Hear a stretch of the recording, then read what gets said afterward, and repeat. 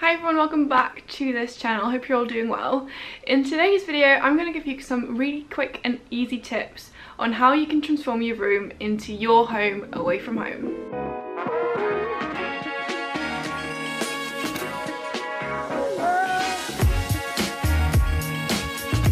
Depending on where you're going to uni and where you're staying, what you get in your uni room might be a bit different from person to person and from place to place. But in most cases you really start with an empty shell and you have to make it your own. So the first thing I did is add a load of photos of my family, my friends, of places I've been to, some cute quotes I resonated with. And I did this because adding your personal photos instantly makes your room yours. I think overall I paid about a tenner for them so they really don't have to be expensive and I think it turned out pretty cool. So the second thing I added were some posters. Your uni might do some poster sales throughout the year, but these are also quite easy to find in local shops as well as online. I think posters instantly add more character to your room because you can really choose the posters you like and they really show your personality. So they can be movie posters and be like I like quotes, it could be anything, really. Anything.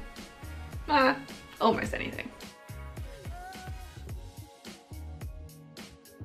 The third thing you can do is add some decorative pillows and throws to your bed just to make it a bit more homely and cozy. For me, I already had my duvet and pillows and bed sheets so I didn't really have to worry about that but you know you could add some really nice ones as well.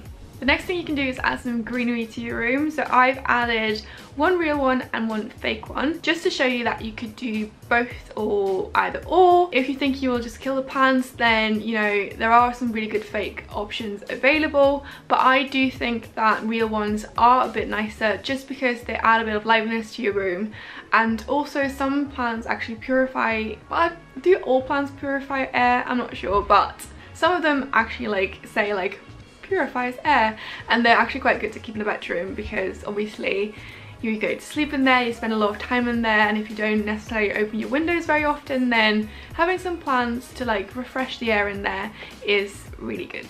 Another thing I did is add a laundry basket. Obviously, you need somewhere to put your dirty clothes. You don't want to have them all scattered around your room. You don't really want to have that chair, even though we're all guilty of that, um, especially in uni. But having a laundry basket at least, you know, tempts you to put it in one place, tucked away, until you can bear to wash them all. And last but not least, another great thing you can do to make your room your home away from home is at mementos.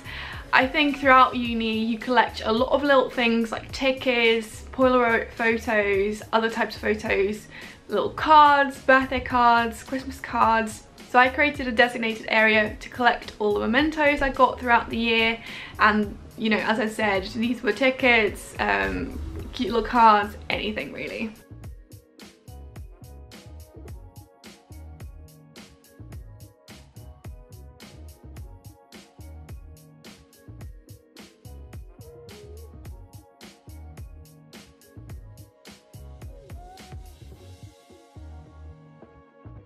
Now you've probably come to the end of this video and you're thinking, Laurie, where are those fairy lights?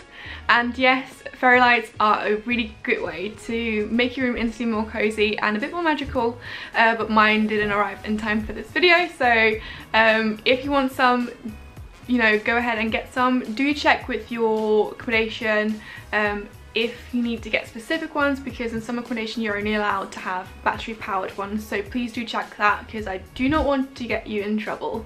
So these were my really quick and easy tips on how you can make your room your home away from home. I really hope you like this video. If you've got any tips of your own, please leave them down below in the comments. Um, as I said, I hope you liked this video. If you did, please give it a thumbs up. If you haven't subscribed already, please do. And I hope to see you next time. Bye guys.